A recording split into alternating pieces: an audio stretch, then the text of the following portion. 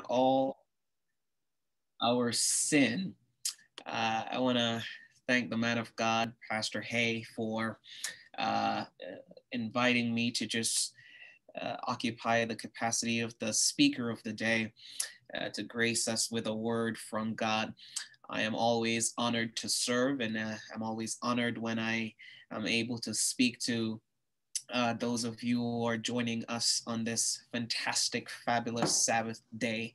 Uh, I want you to help me preach this sermon today. So, right now, you do have license, you do have permission from me to uh, take yourself off Zoom and uh, give God a praise, you know, give God a shout uh, and let Him know that you are happy and overjoyed that safely through another week He has brought you on your way. And so you are here to give Him uh, the praise that He deserves. God is good, family. And so we are grateful for what He has done.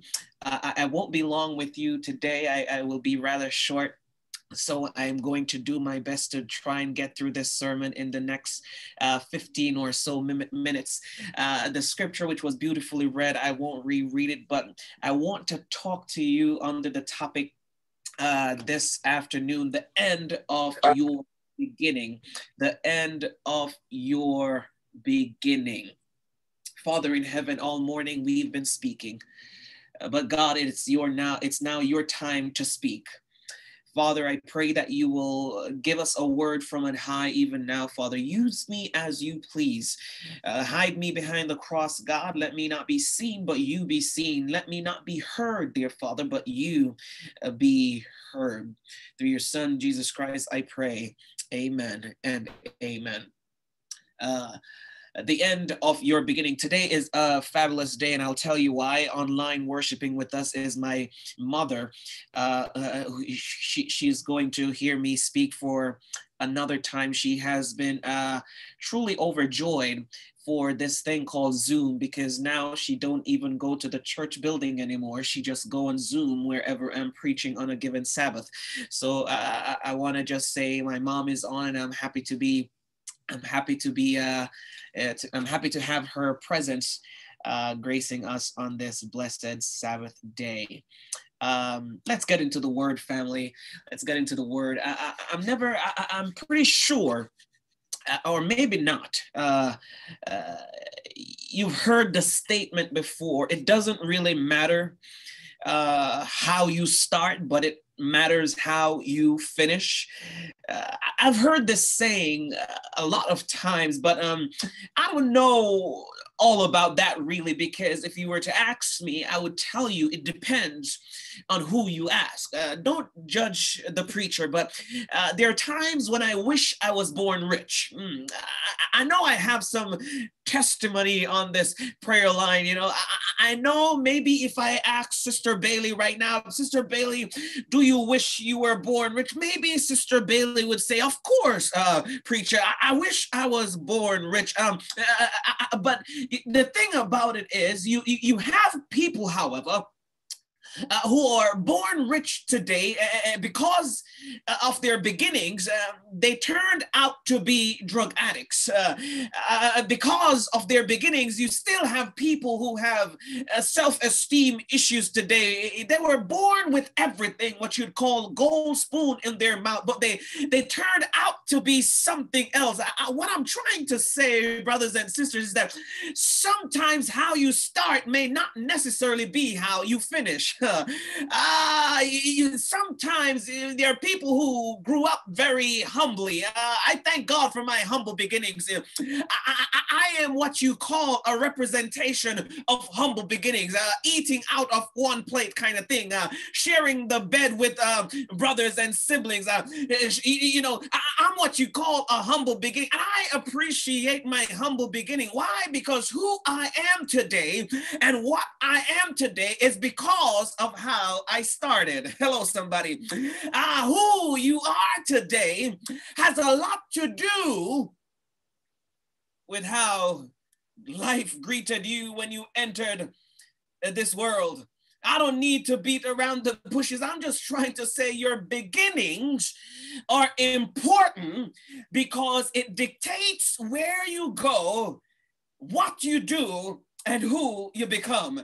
You see, the preceding verses of Acts chapter 9, verse 1 and verse 2, particularly, it gives us an idea of where Saul was before he became Paul.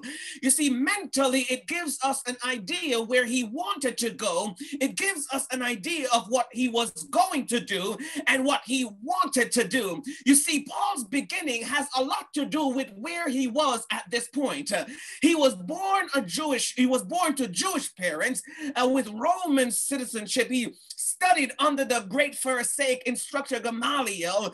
Under his tutelage, Paul became an expert in Hebrew scriptures, making him well versed in the Old Testament history and the laws. Paul had what you'd call an Ivy League educational upbringing because he learned from the best. But his degree was pharisaically skewed, brothers and sisters.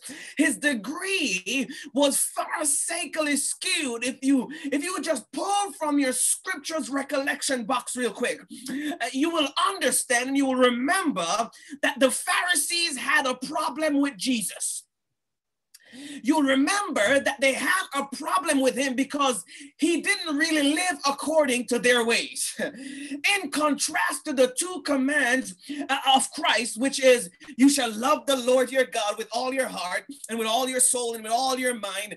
This is the great and first commandment. And then you should love the others, you know, other people like you'd love yourself. To this basic and simple command, the Pharisees had developed a system of 613 laws. 365 negative commands and 248 positive laws. So by the time Christ came, the Pharisees had produced a heartless, cold and arrogant brand of righteousness.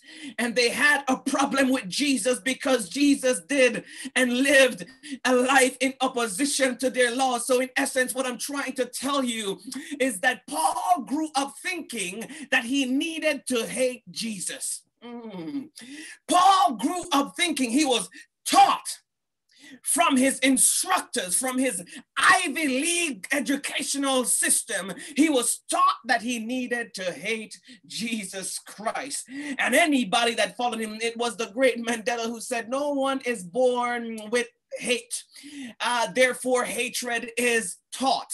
And so the Bible says he sets out on this mission to capture any, by any means, the followers of Christ. And because he's a man of the law, he made sure he got his search and arrest warrant. He wasn't going to go anywhere and do anything unless he has his search and arrest warrant. So he went to his dignitaries' friends and he said, Listen, man, I got a plan. I got a plan to eradicate this world from all of those people who are worshiping Jesus. I got a plan to go and search them out, find them wherever they are, and bring them to justice. But little did Paul know that man may plan his way, but God is the God who determines his steps. Little did Paul know that while he had a zeal to capture the people of God, to enslave and imprison them, God had a plan to capture his heart. Hello, I'm talking to somebody. God had a plan to capture his heart. Uh, the problem with Paul was that he needed a change of perspective. He needed a realignment of purpose. He needed an end to his current beginning. His theological factory settings were overriding his spiritual experiential codifications, and Paul needed a reset. Uh, uh, he needed a change in ideas.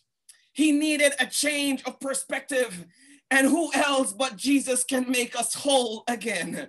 Who else but Jesus can make us a new creation and a brand new man where all things are passed away? Who else but Jesus that can pick us up and turn us around and plant our feet on solid ground? Who else but Jesus can see us sinking deep in sin far from the peaceful shore, very deep and stained within, sinking to rise no more? Who else can hear our earnest cry and from the depths of sin lifts us up. Nobody but Jesus. The Bible says, beloved, as he was on his way to Damascus, God pressed what we can call the reset button and shut him down. Can I tell you something? There's this thing they call smartphone in 2021. I don't know if any of you guys own a smartphone or if you own the flip phone or whatever phone you own, uh, but there's this thing called a smartphone in 2021. And as smart as these phones are, brothers and sisters, there are times when they act like they're not smart at all. I, I wish I had a witness. There are times when the smartphones act like it's not smart at all. And then you got to go in the smartphone into this place called settings. And when you go into settings, you got to go to the other place called reset. Why? Because there's something going on in the smartphone that's making the smartphone act dumb. And you got to go into that smartphone and press the reset button. And when you press the reset button, the smart smartphone shuts down and restarts again. What I'm trying to tell somebody that uh, on this line this morning is that maybe you're at a point in your life where you're acting a way that you shouldn't be acting, where you're acting contrary to the will of God. I'm here to tell you that God will press that reset button. Uh, he pressed that reset button for Paul and he shut him down. He shut him down and struck him with a physical blindness that represented his spiritual blindness. And God said something rather interesting. He asked Paul, he said, Why persecutest thou me? It is hard for thee to be kicking against the pricks. You see, the saying, the saying, the saying, kicking against the pricks was developed from a practice where farmers would raise or would use sharp edged sticks known as goads to kind of guide their animals along a certain path. And so, like any normal animal beings, you know, like any normal animals, at certain points you get frustrated because you want to go a certain place. You look at a certain place and you see some green grass, you want to go and graze, but you can't go there because you have these sharp sticks uh, hindering you. The animals would get frustrated and they would kick against these pricks, but only only to realize that the pricks ain't feel nothing. Each time they would kick against these pricks, they would only be damaging them own selves. So, what Paul, what God was saying to Paul here is that God was saying to him, I've been knocking on your heart door for some time now, Paul. I've been trying to realign you. I've been trying to give you a different perspective. I've been trying to put you on a different path. I've tried through Stephen. I've tried through many aspects. I've tried to even Jesus himself, but you still haven't gotten it. Why are you kicking against the pricks, Paul? Only hurting yourself, only causing yourself pain. I've been trying, Paul to put an end to your current beginning. I wanted to always give you a new start, Paul, a new fresh mindset, a new idea, a new look at life. Here it is, church. God has been knocking on your heart's doors. Just as he has been asked, knocking on Paul's. Some of us have been refusing him for years. We've been kicking against the pricks refusing to let him in. But when God gets ready, when God gets ready to press that reset button, you've got to move. You see, the reset button is never like the first option because God, God is He's long suffering, He's merciful, he, he, he, He's the type of God that will work with you and try and try to work with you and get to you to understand that there's change that is required, there's a change that is needed. But there's a time when God says, you know what, I can work no more. I'm just gonna hit that reset that but you know i don't know if you know uh, but you know back in the caribbean brothers and sisters there are times when the fridge start to behave a certain way and there are times when the tv start to behave a certain way it won't turn on it won't work. Uh, back in the caribbean all you know, you know licking things was the best way to fix things. And so when things won't work you just give it a few slaps. And then you know it begin to work miraculously or something. Maybe it was a shorts or whatever it was but uh, granted every time the tv or the radio wouldn't work. All you got to do is rough it up. All you got to do is give it some slaps and it would work. But there are times when God will literally have to literally slap you up in order to get your attention. God will work with you and he will try his best to get your attention. But when God really wants to save you, he will try he will try, but there are times when he's to blow out your candles.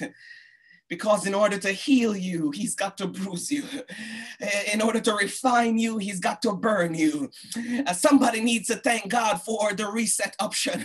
You see, the reset option is the option that says, God, I've been running away all this time, trying to stay on the same level that I've been on for years, but you're trying to bring me to a new level, and I'm not working in favor with your plan. I'm not working in line with your plan, but God wants to change us, and we're not working in accordance with his plan. God is saying, I'm going to press the reset button and shut you down so you can start again. Hey, I'm going to shut you down so you can start again. Let me tell you something, brothers and sisters. You see, this reset option is not a new concept. This reset option is not a new concept. The first reset or the best reset option is the option known as Jesus Christ. In fact, his life on earth was mission reset. He died on Calvary and reset the price of salvation for you and me, made it free of cost. So today we can have all life and have it more abundantly. We can have an experience that we've never had before. He can make us new. because of this reset option. The fountain filled with blood drawn from Emmanuel's vein. Sinners plunged beneath this flood can lose all their guilty stains. It is all about the reset option. Would you be free from your burdens of sin? Would you over evil a victory win? Would you be free from passion and pride? There is power in the blood of Jesus to reset you, to change you, to revive you, to restructure you, to change you from the way you started into the way God wants you to be. Family, I don't know how this journey to Christendom has started for you. I don't even know how your journey overall has started. I don't know. I don't need to know what your beginnings were like. But I do know this that God wants to reset you for his kingdom. God wants to change your perspective for his kingdom. God wants to give you a refreshed mindset, a refreshed life for his kingdom. And all he's saying you got to do is open up so that he can come in and sup with you. So the message is simple today. The message is simple. You don't have to be the way you have been ever since you came into this world. You don't have to be the way the world has taught you to be ever since you came into this world, but you can be who God wants you to be. So here it is. My prayer is simple. My prayer is simple. Father in heaven, you are an awesome God. I'm done. You are merciful. You are great. You are everything we need. Father, help us not to kick against the pricks any longer, but help us to submit our will into your hands. Submit everything about us into your hands so that you can do what you do best, dear God, and give us a new beginning. Through your Son, Jesus Christ, I pray. Amen and amen.